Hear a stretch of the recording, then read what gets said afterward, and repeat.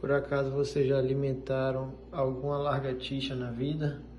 Pois é.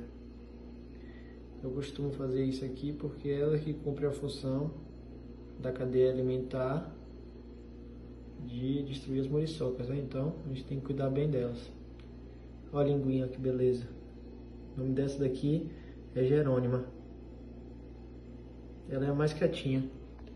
Tem aquela que tá ali em cima que não gosta muito de chegar perto não. Mas Jerônimo aqui ela se abraça na banana. Olha que coisa maravilhosa. Olha a linguinha.